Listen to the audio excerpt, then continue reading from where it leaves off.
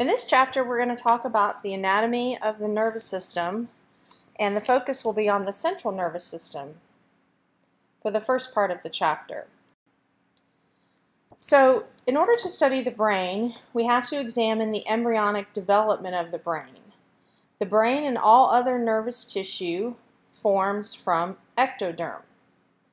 During embryonic development, a thin flat layer of ectoderm begins to thicken to form the neural plate, which then invaginates to form the neural groove, which is also sometimes referred to as the neural fold. Eventually, the two sides of the neural groove touch, forming an internal passageway called the neurocoel. This structure is now called the neural tube. The anterior end of the neural tube begins to enlarge, forming three prominent divisions. And you can see that here with the formation of the primary brain vesicles. You have the forebrain, the midbrain, and the hindbrain. Somewhere around week five of development, the primary brain vesicles have changed position and the forebrain and hindbrain have further subdivided to form secondary brain vesicles. The midbrain does not significantly change during development. As development continues, the cerebrum enlarges to the point where it covers the other portions of the brain. And you can also see in this slide what the forebrain and hindbrain structures become in the adult. The forebrain becomes the cerebrum, which is the cerebral cortex, white matter, and basal nuclei. In addition, it forms the thalamus, pineal gland, and hypothalamus. And the hindbrain forms the brainstem, the pons, and the cerebellum, as well as the medulla oblongata. Now let's look at some of the major parts of the brain. The brain contains almost 97% of the body's neural tissue, and a typical adult brain weighs about 3 pounds. Brain size varies considerably among individuals. On average, the brain of males are about 10% larger than those of females, which gives rise to the differences in body size we see between men and women.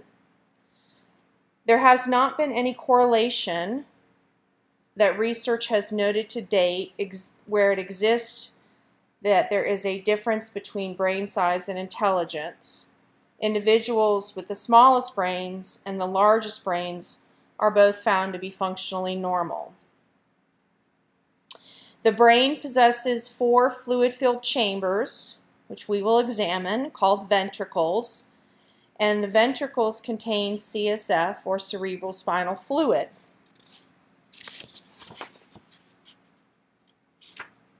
The major regions of the brain are the cerebrum, the cerebellum, the diencephalon, the brain stem, the midbrain, and we will take a look at each of these structures in the next few slides. So starting with the cerebrum, the cerebrum accounts for about 80% of the brain's mass. The cerebrum functions in conscious thought, memory storage and processing, sensory processing, and the regulation of skeletal muscle contractions. The surface of the cerebrum is highly folded and covered with a superficial layer of gray matter called the cerebral cortex. There is fish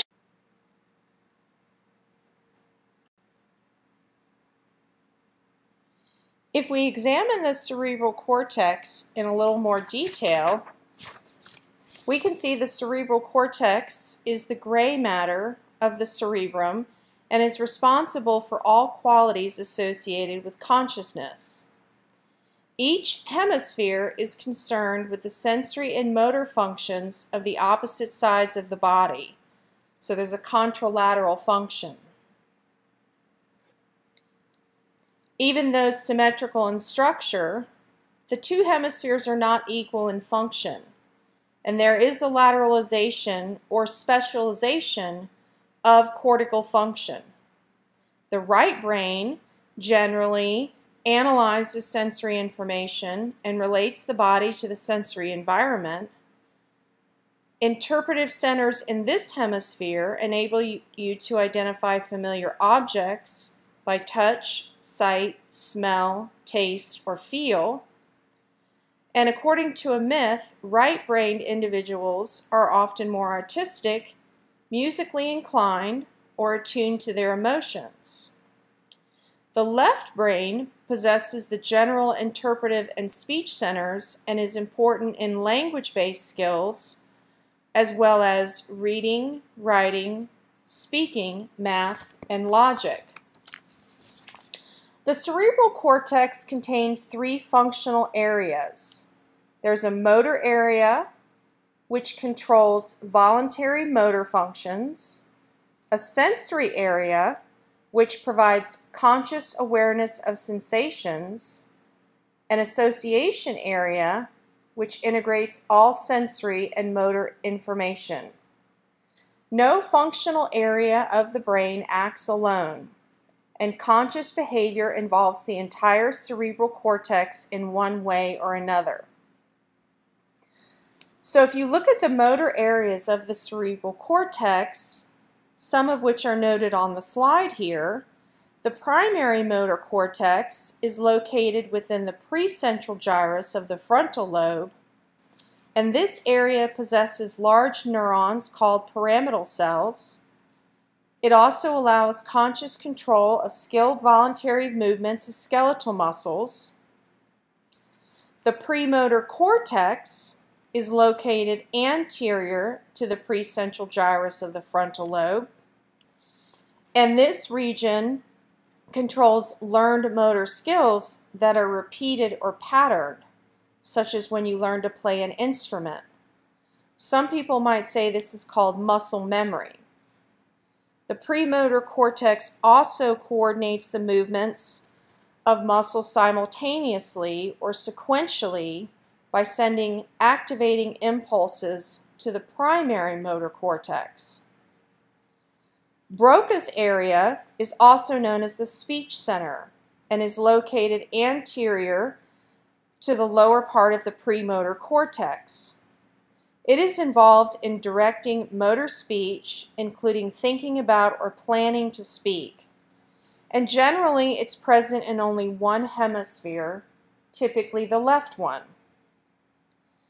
The frontal eye field is located anterior to the premotor cortex and superior to Broca's. This region controls voluntary movements of the eye. It also has no role in the interpretation of visual stimuli. This next slide shows some of those motor areas that we just talked about but it also now shows some of the sensory and association areas. So while examining the sensory areas of the cerebral cortex, the first one we will talk about is the somatosensory cortex, which is located in the parietal lobe of the cerebrum. The primary somatosensory cortex is a region of that area and is located in the postcentral gyrus. In this region, neurons receive touch information like temperature, pressure, pain from the somatic sensory receptors of the skin and from proprioceptors in skeletal muscle. This area allows for special discrimination or for you to interpret what body region is being stimulated. The somatosensory association area lies posterior to the primary somatosensory cortex. This region integrates and analyzes the somatic, somatic sensory inputs from the primary somatosensory cortex and memories of previous experience to produce an understanding about what is being felt. In other words, it allows you to recognize the um, cold, flat, round thing in your pocket is a quarter, as an example. The visual cortex is located within the occipital lobe of the cerebrum. And within the visual cortex, you find the primary visual cortex, which receives light information from the retina of the eye, like color, form, texture. And then you also have the visual association area, which integrates and analyzes the visual information coming from the primary visual cortex as well as past experiences to interpret what the image is or means. Another sensory area of the cerebral cortex is the auditory cortex, which is located within the temporal lobe. The primary auditory cortex receives sound information from the ear, like pitch, rhythm, and volume. The auditory association area integrates and analyzes the information from the primary auditory cortex and also uses past experiences to interpret what the sound stimulus is or means. Other sensory areas are the olfactory cortex, which is located on the medial aspect of the temporal lobe and is responsible for the conscious perception of odors or smells. The gustatory cortex, which is located in the insula and portions of the frontal lobe, and is involved in the conscious perception of taste. And the visceral sensory cortex, which is located in the insula and is involved in the conscious perception of visceral sensations, for example, a full bladder or an upset stomach. There is also some interpretive areas of the cerebrum. The prefrontal cortex, which is also called the anterior association area, and this area is involved with intellect, complex learning abilities, recall, and personality.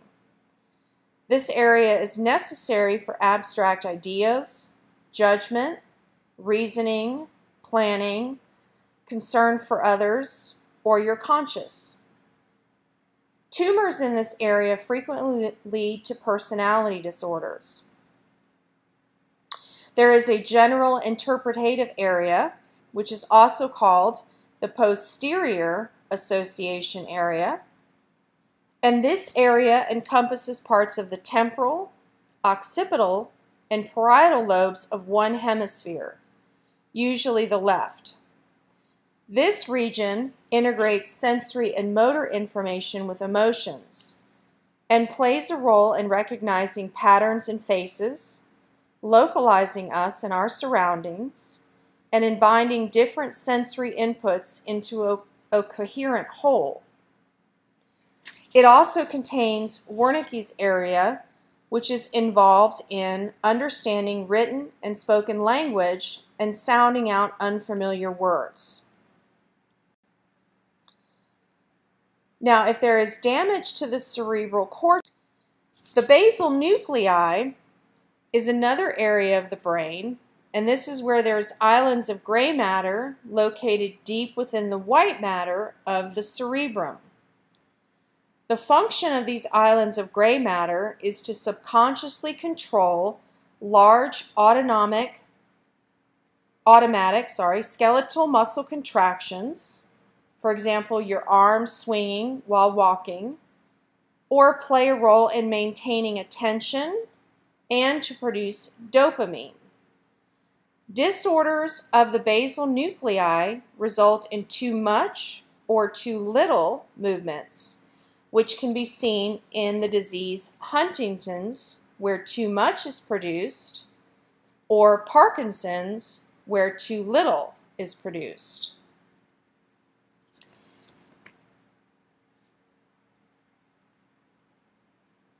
The major components of the basal nuclei are the caudate, putamen, and globus pallidus.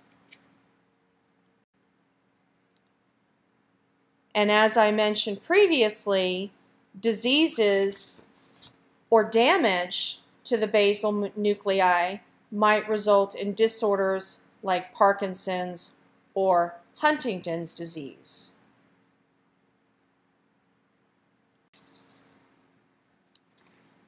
The diencephalon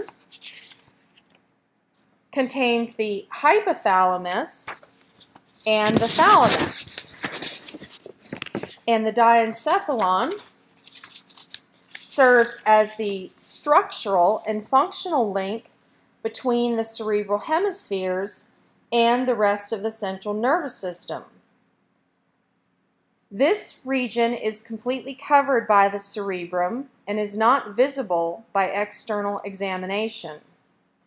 The thalamus forms the super, superlateral walls of the third ventricle, is composed of masses of gray matter held together by a midline of commissure fibers known as the intermediate mass. It also contains important relay and processing centers for sensory information. Almost all sensory input goes through the thalamus, with the exception of olfaction, so the thalamus is sometimes called the gatekeeper or relay station for sensory input.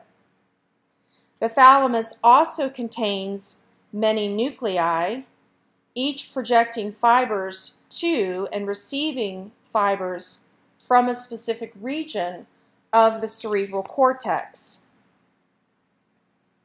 The hypothalamus forms the walls of the third ventricle.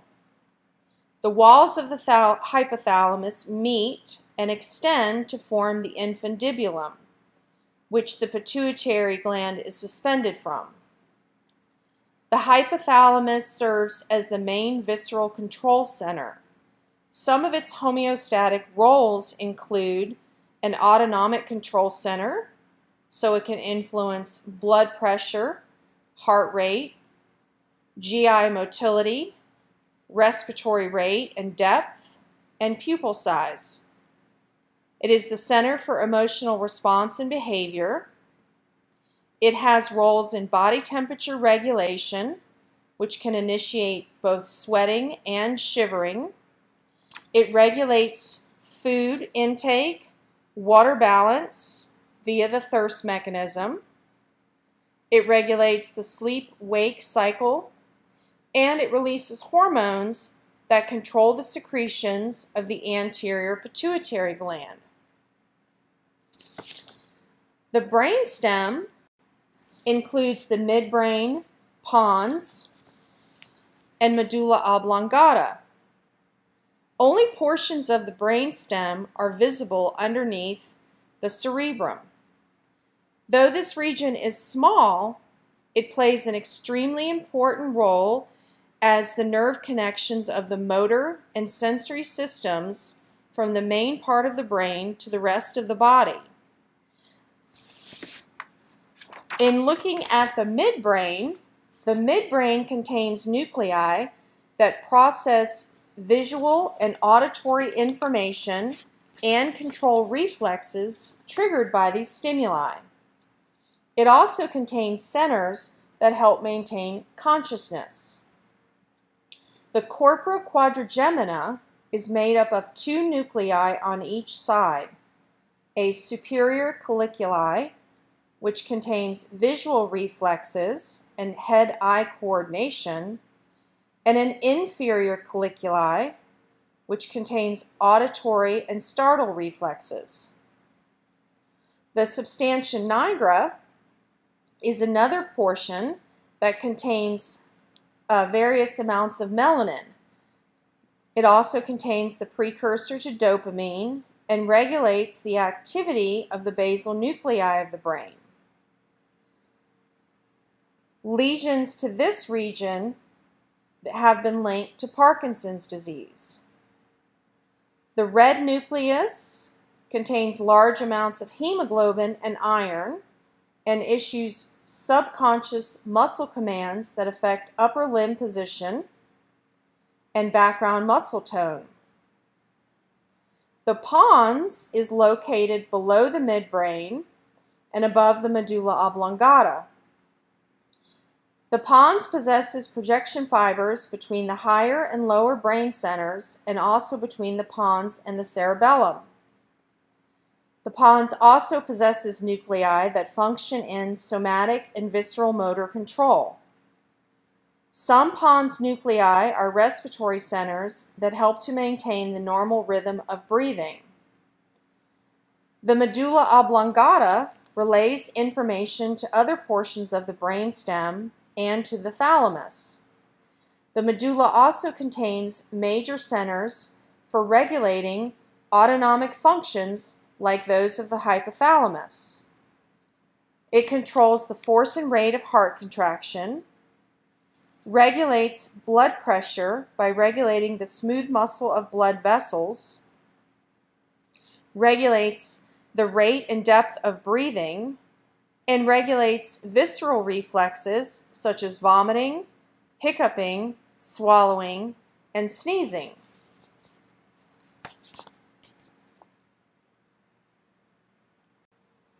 The cerebellum is shown here, and the cerebellum is considered to be an autonomic processing center. It accounts for about 11% of the brain's mass. The cerebellum is partially hidden by the cerebral hemispheres and is the second largest structure in the brain. The cerebellum functions in the coordination and modulation of motor command from the cerebral cortex and maintaining balance and equilibrium. The cerebellum is separated from the cerebrum by the transverse fissure. The cerebellum is divided into two hemispheres and further subdivided into lobes, the anterior lobe and the posterior lobe. The two cerebellar hemispheres are separated by the vermis, while the anterior and posterior lobes are separated by the primary fissure. The white matter of the cerebellum is called the arbor vitae and is surrounded by gray matter called the cerebellar cortex. The spinal cord is shown in this slide and you can see a cross section of the spinal cord both histologically and in the figure. The adult spinal cord is about 18 inches in length and has a maximum width of about 14 millimeters. The spinal cord is located within the vertebral foramen, also known as the vertebral canal. The anatomy of the spinal cord is shown here. And there are several anatomical regions that are of significance. The cervical enlargement supplies nerves to the shoulder and upper limbs. The lumbar enlargement provides innervation to the structures of the pelvis and lower limb.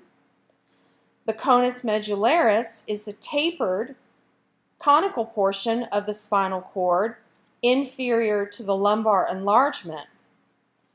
Because the adult spinal cord ends at the level of the first or second lumbar vertebrae, the dorsal and ventral roots of the spinal segments L2 and S5 extend inferiorly. When looking at this in gross dissection, the filament terminale and the long ventral and dorsal roots resemble a horsetail. Hence, this region is known as the cauda equina. The filament terminale is a slender strand of fibrous tissue that extends from the tip of the conus medullaris to the second sacral vertebra. It provides longitudinal support to the spinal cord as a component of the coccygeal ligament.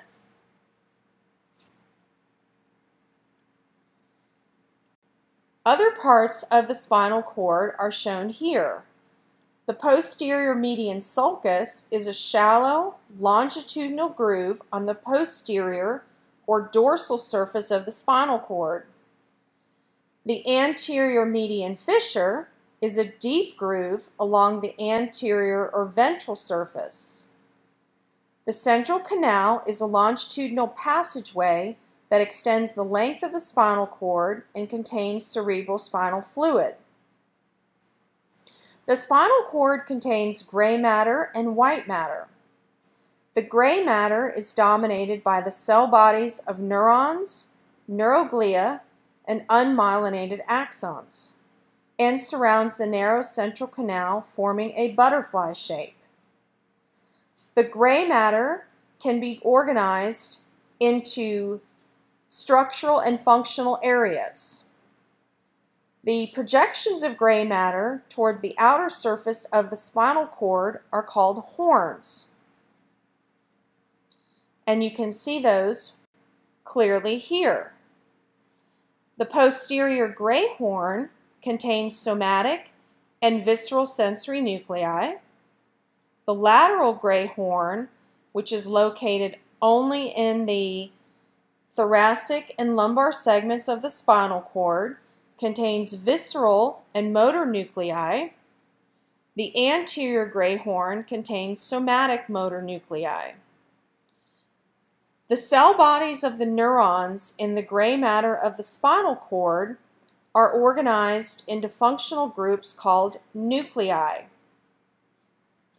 Sensory nuclei receive and relay sensory information from the sensory receptors of the body to the central nervous system. Motor nuclei issue motor commands to the peripheral effectors. The spinal cord also contains white matter.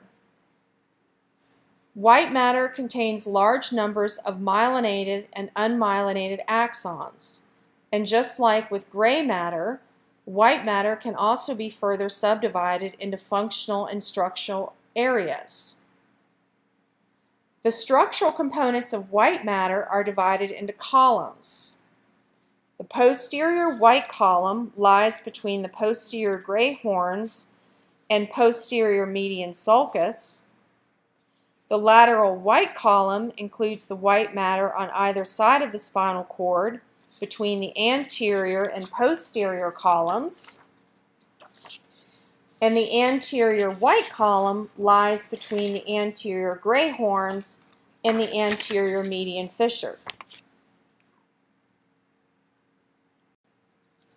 The meninges of the spinal cord serve to cover and protect. The meninges are delicate neural tissues that must be protected from shocks, including damaging contact within the surrounding bony walls of the vertebral canal.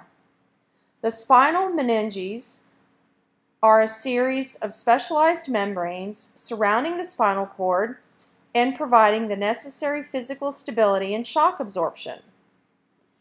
They consist of three layers. The tough, fibrous dura mater is the outermost covering of the spinal cord. It contains dense collagen fibers that are orientated along the longitudinal axis of the cord. Between the dura mater and the walls of the ventral canal lies the epidural space. And you can see that here on the, this slide. This is a region that contains areolar connective tissue, blood vessels, and a protective padding of adipose. A narrow subdural space separates the dura mater from the arachnoid mater. The arachnoid mater is the middle layer. It includes simple squamous epithelium and the subarachnoid space that extends between the arachnoid mater and the pia mater. The pia mater consists of a meshwork of elastic and collagen fibers that is firmly bound to the underlying neural tissue. The subarachnoid space contains the arachnoid trabeculae, which is a network of collagen and elastic fibers that attaches the arachnoid mater to the pia mater. It is filled with cerebral spinal fluid, which acts as a shock absorber and a diffusion media for gases, nutrients, chemical messengers, and waste products.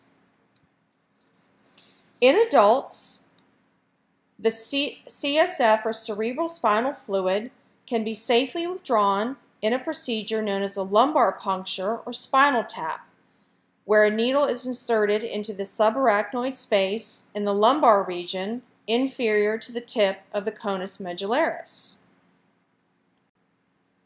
And here you can see the subarachnoid space and epidural space.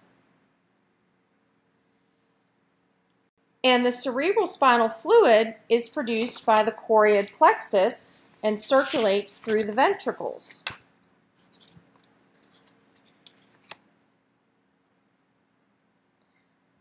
There are four ventricles of the brain, two lateral ventricles, a right and a left, each within one of the cerebral hemispheres.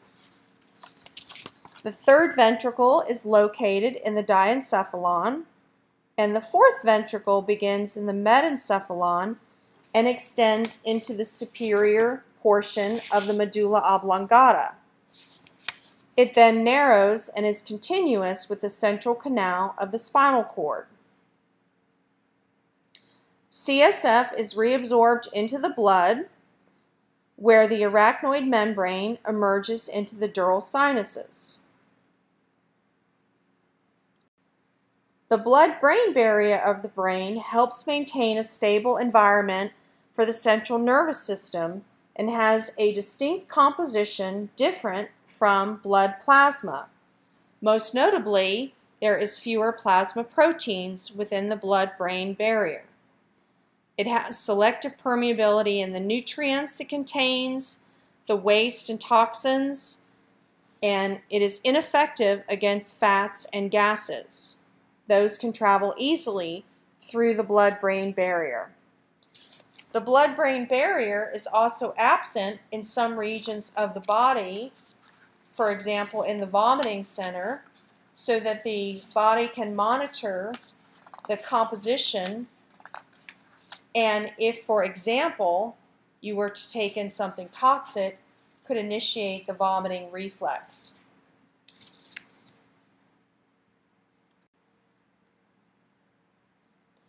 Now the connective tissue sheaths are shown here, where you can see the epineurium, which surrounds each nerve, the peri, which surrounds a fascicle or bundle of nerves, and the endo, which surrounds the axon itself. So the epi is the outer, and the endo is the deep within. Now, nerves can be classified as either cranial or spinal and they're based on their direction of transmission. Sensory is going afferent, motor is efferent, and we also have some mixed nerves. We will examine the 12 pairs of cranial nerves as well as looking at some spinal nerves. The cranial nerves can be seen here by name and number. Cranial nerves are classified as either sensory, motor, or mixed. If they're sensory, they contain sensory neurons only. Motor contains motor neurons only, or mixed meaning they contain both. The first two pairs attach to the forebrain, the remaining 10 pairs attach to the brainstem. And these are the cranial nerves by name and number, as well as their function, which you will need to know. For each of the cranial nerves, make sure you can provide the name, number, and a description of or function, and be able to identify if it's sensory, motor, or mixed.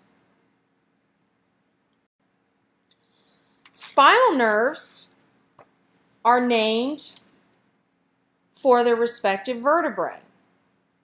A spinal nerve is composed of bundles called fascicles.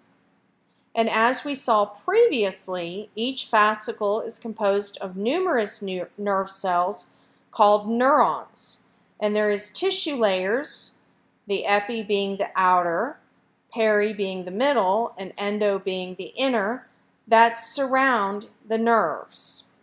There are 31 pairs of spinal nerves. All of the spinal nerves are mixed nerves. The cervical plexus consists of the spinal nerves C1 through C5. And this plexus is mostly cutaneous nerves that supply the skin. The phrenic nerve is the single most important cervical nerve that innervates the diaphragm for breathing. You may become familiar with the mnemonic C345 helps keep you alive. That's where the phrenic nerve originates from, C3 to C5. The brachial plexus innervates the pectoral girdle and upper limbs and consists of the spinal nerves C4 through T1.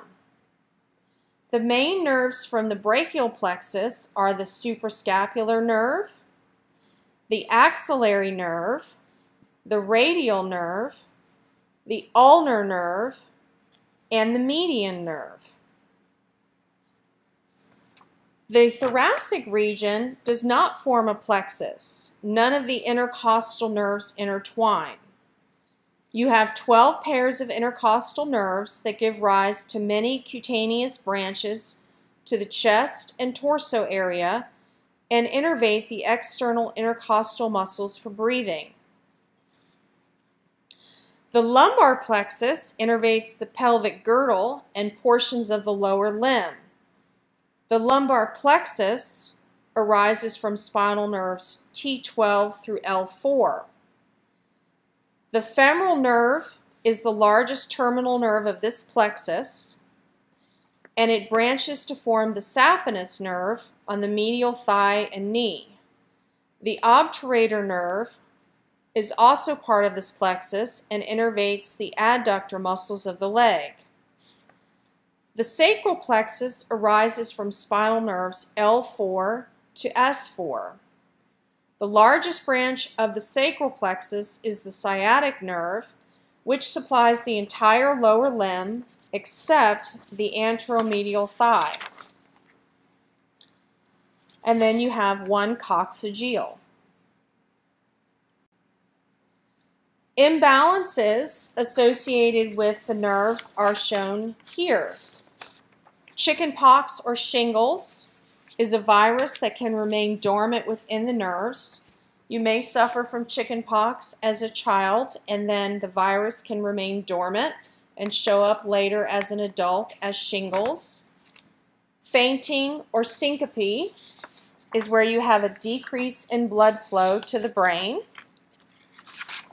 Stroke is where you can suffer a lack of oxygen to the brain and the cells may die. There's various forms of meningitis or inflammation of the meninges and spina bifida, which is an incomplete closing of the backbone and membranes around the spinal cord. Spina bifida is not as common because of the recommendation for pregnant women or women planning to become pregnant in increasing their folic acid intake. This concludes the overview of the nervous system, examining both the central nervous system and the peripheral nervous system.